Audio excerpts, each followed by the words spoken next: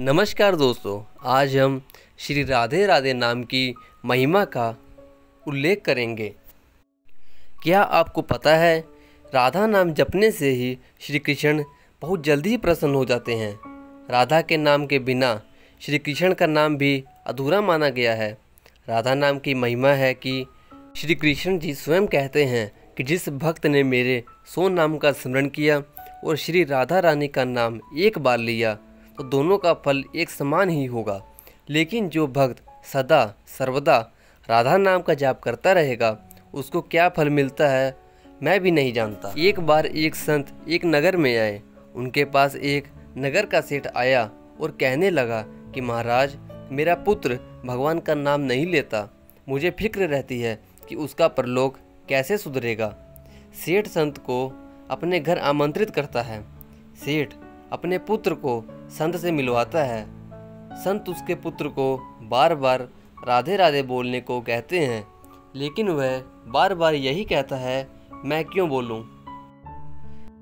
लेकिन गलती से एक बार उसने गुस्से में कह ही दिया, क्यों बोलूँ मैं राधे राधे संत यह सुनकर प्रसन्न हुए और कहने लगे कि मृत्यु के पश्चात जब तुमको यमलोक लेकर जाएँगे तो यमराज तुमसे पूछेंगे, तुमने कौन सा पुण्य किया है?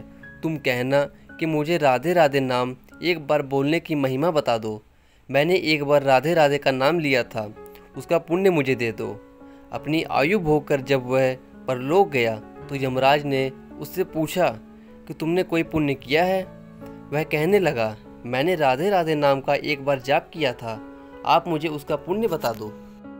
यमराज को एक बार राधे राधे नाम बोलने की महिमा नहीं पता थी, इसलिए यमराज ने पालकी मंगाई और लड़के को इंद्रदेव के पास लेकर जाने लगे। लेकिन लड़का जिद करने लगा कि मैं इंद्रदेव के पास तभी जाऊँगा अगर पालकी एक तरफ़ से आप उठाएँगे। यमराज पालकी लेकर इंद्रदेव के पास पहुँचे, लेकिन उन्हें भी एक बार राधे राधे नाम जपने का महत्व नहीं पता था। इसलिए इंद्रदेव कहने लगे, ब्रह्मदेव के पास चलते हैं। लड़का जिद करने लगा कि पालकी की दूसरी ओर से इंद्रदेव पकड़े। एक तरफ़ से यमराज ने पकड़ा और दूसरी ओर से इंद्रदेव ने पालकी को पकड़ा। ब्रह्मदेव के पास पहुँचे। उन्हें भी राधे राधे नाम एक बार बोलने की महिमा का पता नहीं था। अब पालकी को एक तरफ़ से यमराज, दूसरी तरफ़ से इंद्रदेव और एक तरफ़ से ब्रह्मदेव ने पकड़ लिया और भगवान शिव जी के पास पहुँचे। भगवान शिव जी को भी राधे राधे नाम बोलने की महिमा के बारे में नहीं पता था। भगवान शिव जी ने बोला, भगवान विष्णु को पता होगा। सब पालकी लेकर विष्णु लोक में जा पहुँचे।